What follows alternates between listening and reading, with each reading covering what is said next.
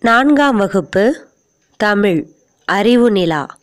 ஓர் ஊரில் ஒரு அண்ணனும் தம்பியும் வாழ்ந்து வந்தாங்க.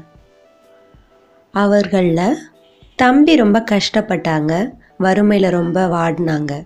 ஆனால் அண்ணன் அப்படி கிடையாது. ரொம்ப சந்தோஷமாக நல்லா சம்பாரிச்சுக்கிட்டு நிறைய சொத்து பத்தோட செல்வ செழிப்பாக இருந்தார். தம்பி ஒரு நாள் தன் கஷ்டத்தை பார்த்து சரி அண்ணங்கிட்ட போய் ஒரு பசுவை வந்து கேட்போம் அப்படின்ட்டு அண்ணங்கிட்ட வந்து எனக்கு ஒரு பசுவை கொடுங்க. நான் அதை வச்சு வாழ்ந்துக்கிறேன். எனக்கு ரொம்ப கஷ்டமாக இருக்குது அப்படின்னு கேட்குறாங்க ஆனால் அண்ணன் என்ன பண்ணுறாரு தம்பிக்கிட்ட பசுவை கொடுக்கறதுக்கு முன்னாடி ஒரு கண்டிஷன் போடுறாரு. என்ன கண்டிஷன்னா என்னோட நிலத்தில் வந்து நீ ஒரு ஓராண்டு காலம் வந்து உழைக்கணும். நாள்தோறும் என்னோட நிலத்தில் ஓராண்டு காலம் வந்து உழைக்க வேணும் அப்படின்னு சொல்லிட்டு இந்த பசுவை எடுத்துகிட்டு போ அப்படின்னு என்ன பண்ணுறாங்க கொடுக்குறாங்க. தம்பியும் சரிங்கண்ணா நான் ஓராண்டு காலம் உங்களுடைய நிலத்தில் நான் உழைக்கிறேன் அப்படின்ட்டு ஒத்துக்கிட்டு அந்த பசுவை வந்து எடுத்துகிட்டு போயிட்டாரு. ஒரு வருட காலம் முடிஞ்சது. தம்பி அண்ணங்கிட்ட ஒரு வருஷம்தான் முடிஞ்சிருச்சே. நம்ம தான் ஒரு வருஷம் அந்த நிலத்தில் உழைச்சிட்டோமே அப்படின்ட்டு வேலைக்கு போகவே இல்லை. வேலைக்கு வராததை பார்த்துட்டு அண்ணன் என்ன பண்ணுறாரு மறுநாளே வந்து பசுவை வந்து திருப்பித்தா அப்படின்னு வந்து கேட்குறாங்க தம்பி என்ன சொல்கிறாங்க உன்னுடைய நிலத்தில் தான் நான் ஒரு வருட காலம் உழைச்சிட்டேன் அல்லவா? இந்த பசு எனக்கு தான் அப்படின்னு என்ன பண்ணுறாரு சொல்கிறாரு அண்ணன் இருந்துக்கிட்டு அதெல்லாம் கிடையாது. அதெல்லாம் எப்படி முடியும்? ஓராண்டு காலம் நீ என்னோட பசுவை பயன்படுத்தி இருக்க அதில் பால் கறந்துருக்க அந்த பால் கறந்து விற்றுருக்க அதன் மூலயமா பல பலன்களை நீ அனுபவிச்சிருக்கிற க உண்மை தானே இது? இரண்டுக்கும் சரியாக போச்சு. நீ என்னுடைய நிலத்தில் ஓராண்டு உழைச்சதுக்கும் என்னோட பசுவிற்கான நீ பலன்களை நீ பெற்றதற்கும் ரெண்டுத்துக்கும் சரியாக போச்சு. அப்படின்ட்டு ரெண்டு பேரும் வாய் சண்டை வந்து பெரிய சண்டையாக மாறிடுச்சு. இப்படி ரெண்டு பேர் சண்டை போட்டுக்கிறது இல்லாமல் அவங்க என்ன பண்ணுறாங்க ஒரு நல்ல தீர்ப்பை தேடி அந்த ஊர் பெரியவர்கிட்ட போகிறாங்க அந்த ஊர் பெரியவர் அந்த வழக்கை விசாரிக்கிறாரு. விசாரித்து தன்னுடைய முடிவுகளை சொல்கிறாரு என்ன சொல்கிறாருன்னா நான் இந்த வழக்கை நல்லா விசாரிச்சிட்டேன். இருந்தாலும் இதற்கு ஒரு முடிவாக நான் என்ன சொல்கிறேன்னா உங்க ரெண்டு பேர்கிட்டயும் நான் மூன்று புதிர்களை கொடுக்குறேன். இந்த மூன்று புதிர்களுக்கு யார் சரியான பதில் சொல்றீங்களோ அவங்க கிட்ட இந்த பசுவை நான் என்ன பண்ணிடுறேன்? ஒப்படைச்சிடுறேன். அந்த மூன்று புதிர் என்னன்னா முதல் புதிர். மனிதனுடைய வயிற்றை நிரப்புவது எது? மனிதனுடைய வயிற்றை நிரப்புவது எது? இரண்டாவது புதிர். மனிதனுக்கு மிக மகிழ்ச்சியை தருவது எது? மனிதனுக்கு மிக மகிழ்ச்சியை தருவது எது? மூன்றாவது புதிர் அதிக விரைவாக செல்வது எது? அதிக விரைவாக செல்வது எது? இந்த மூன்று புதிர்களுக்கும் நீங்கள் நாளைக்கு வரும் பொழுது விடையை கண்டுபிடித்து சொல்லுங்கள். யார் சரியாக விடை சொல்கிறீர்களோ அவர்களுக்கு இந்த பரிசை கொடுத்து விடுகிறேன். பெரியவர் சொன்ன புதிர்களுக்கு இருவரும் வீட்டுக்கு வந்து மூளையை கசக்கி குழப்பி ரொம்ப சிந்திச்சாங்க. செஞ்சிட்டு சிந்திச்சிட்டு மறுநாள் காலையில் பெரியவரை போய் சந்திக்கிறாங்க. பெரியவர் என்ன சொல்கிறாருன்னா மூத்தவரை ஃபஸ்ட்டு அழைச்சி உங்களுடைய புதிர்கான் விடைகளை சொல்லுங்க அப்படின்னு சொல்லிடுறாரு. அண்ணங்கார போகிறான் அவர்கிட்ட போய் பெரியவர்கிட்ட போய் பெரியவரே ஒரு மனிதனுடைய வயிற்றை நிரப்புவது எது என்று கேட்டீர்கள் அல்லவா? அதற்கு சரியான விடை அறுசுவை உணர்வு. அறுசுவை உணவு சாப்பிட்டால் வயிறு நிரம்பும். பல மணி நேரம் பசிக்காது என்று முதல் கேள்விக்கு பதிலளித்தாள். இரண்டாவது கேள்விக்கு என்ன பதில் தெரியுமா பெரியவரே? இதோ சொல்கிறேன். இரண்டாவது மனிதனுக்கு மகிழ்ச்சியை தருவது எது? என்று கேட்டீர்கள் அல்லவா? அதற்கு விடை பணம்.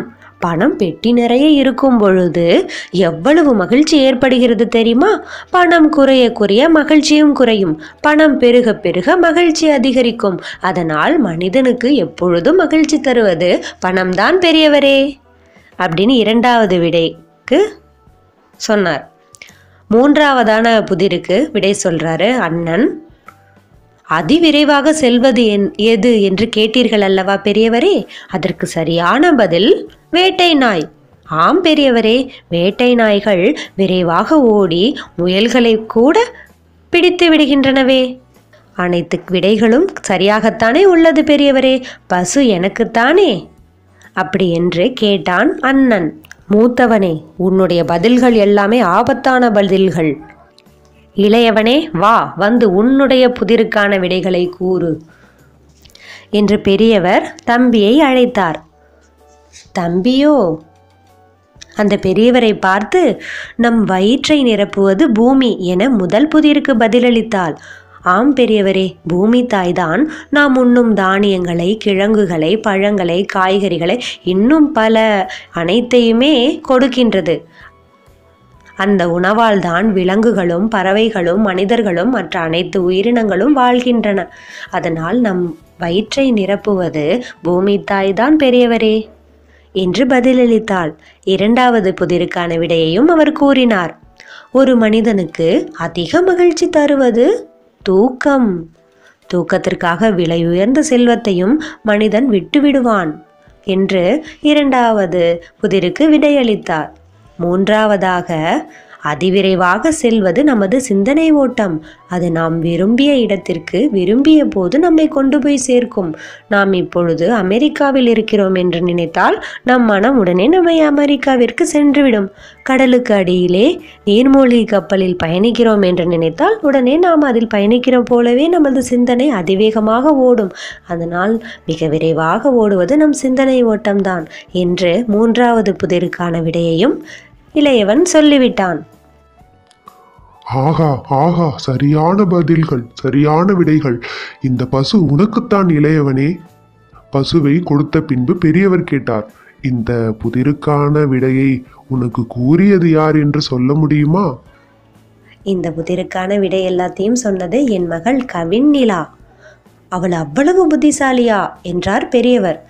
ஏதோ கொஞ்சம் புத்திசாலியாக இருக்கிறாள் என்றான் இளையவன். அப்படியா? என் அளவிற்கு அவளுக்கு அறிவு இருக்கிறதா? என்பதை நான் ஆராய்ந்து பார்த்து விடுகிறேனே என்று பெரியவர் பத்து அவிழ்த்த முட்டைகளை அவனிடம் கொடுத்து இதோ இந்த பத்து அவிழ்த்த முட்டைகளையும் உன் மகளிடம் கொடுத்து ஒரு கோழியினால் அடைகாக்க வைத்து பத்து குஞ்சுகளை ஓரிரவுக்குள் பொறிக்க வைத்து அதே குஞ்சுகளை அதே இரவில் கோழியாக்கி முட்டை போட வைத்து பத்து முட்டைகளில் மூன்றை எடுத்து அடையாக்கி நாளை காலை உணவிற்கு எனக்கு கொண்டு வா. இளையவரோ தம் மகள் கவின்னிலாவிடம் சென்று பெரியவர் சொன்னதை அப்படியே சொல்லிவிட்டார். அந்த பெரியவர் சொன்னதை அப்படியே தன் மகள் கவிநிலாவிடம் சொன்னாலும் தன்னுடைய மகள் புதிருக்கு விட எப்படி சொல்லிக்க போகிறாளோ? அப்படின்னு ரொம்ப கவலைப்பட்டார் அந்த இளையவர். இருந்தாலும் அந்த கவிநிலா தைரியமா அந்த புதிர்களுக்கு எதிர்புதிர் போட்டாள். அவள் என்ன சொல்லாள் தெரியுமா? தன் தந்தையிடம் வேக வைத்த துவரைகள் அடங்கிய ஒரு பானையை கொடுத்து இதில் உள்ள துவரையை நிலத்தில் விதைத்து முற்றியவுடன் அறுத்து எனது கோழி குஞ்சுகளுக்கு உணவாக தயாராக வைக்கும் போல வைக்கும்படி பெரியவரிடம் கூறுங்கள் என்றாள் கவிநிலா அவளுடைய தந்தை அவ்வாறே பெரியவரிடம் சென்று சொன்னார். துவரையை பார்த்த பெரியவர் அவற்றை நாய்க்கு போட்டுவிட்டு சணல் கண்டு ஒன்றை கொடுத்து இதை ஊற வைத்து காய வைத்து நல்ல தரமான துணி தயாரிக்கச் சொல் என்றார். ஆனால் அவளோ அதற்கு பதிலாக மிக மெல்லிய குச்சி ஒன்றை கொடுத்து இதிலிருந்து நூல் நூற்பதற்கு ஒரு ராட்டினம் செய்து தரும்படி கூறுங்கள் என்றாள். அவ அவளது அறிவின் ஆழத்தை கண்ட பெரியவர் உன் மகள் நாளை என்னை வந்து பார்க்கச் சொல். ஆனால் அவள் நடக்கவோ சவாரி செய்யவோ கூடாது. பெருங்காலுடனோ செருப்புடனோ வரக்கூடாது. பரிசுகளோடனோ பரிசுகளின்றியோ வரக்கூடாது. இது கடுமையான உத்தரவு என்றார். பெரியவர் இதை போல் ஒரு கடுமையான உத்தரவை போட்டுட்டார்.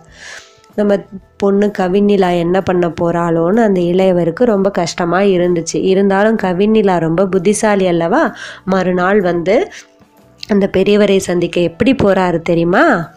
மறுநாள் பனிச்சறுக்கு வண்டியில் வெள்ளையாடுகளை பூட்டி ஓர் காலில் மட்டும் செருப்பணிந்து முயல் ஒன்றை தெரியும்படியும் சிட்டுக்குருவி ஒன்றை தெரியாமலும் எடுத்துச் சென்றாள் கவின்னிலா. அவள் மிகுந்த புத்திசாலித்தனத்துடன் வருவதைக் கண்ட பெரியவர் அவள் மீது நாய்களை ஏவினார். பதிலுக்கு இவள் முயல்களை வெளியே விட நாய்கள் முயலை துரத்தின. இதோ உங்களுக்கு ஒரு சிறிய பரிசு என்று சிட்டுக்குருவியை கொடுத்தாள். அது அவரது கையில் சிக்காமல் பறந்துவிட்டது. தான் சொல்லியபடியே வந்துவிட்ட அவளை நினைத்து பெருமைப்பட்டார் பெரியவர். கவினிலா நீ புத்திசாலிதான் என்று பாராட்டிய பெரியவர் அவளுக்கு பரிசுகள் அளித்து அனுப்பி வைத்தார். இந்த வீடியோ உங்களுக்கு பிடிச்சிருந்ததுன்னா லைக் பண்ணுங்கள் ஷேர் பண்ணுங்கள் கமெண்ட் பண்ணுங்கள் சப்ஸ்கிரைப் பண்ணுங்கள் தேங்க்ஸ் ஃபார் வாட்சிங்